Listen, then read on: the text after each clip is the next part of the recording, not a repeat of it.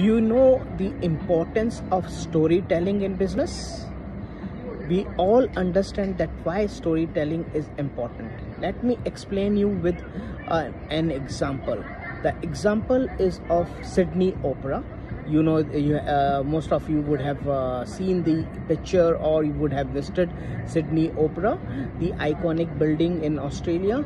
And uh, when the tender was floated for that building and various architects and uh, consulting firms had applied for that particular uh, tender there was a single architect called uh, John Utzon and he sold his proposal as in one word in rather in one single word to the uh, entire uh, committee or to the board members of uh, Sydney Opera.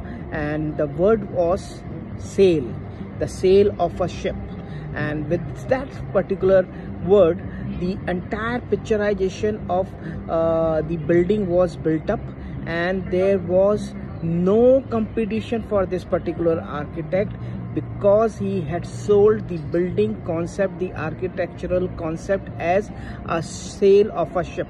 So storytelling does work wonders in business. So keep trying uh, the route of storytelling whether through data whether through data insights.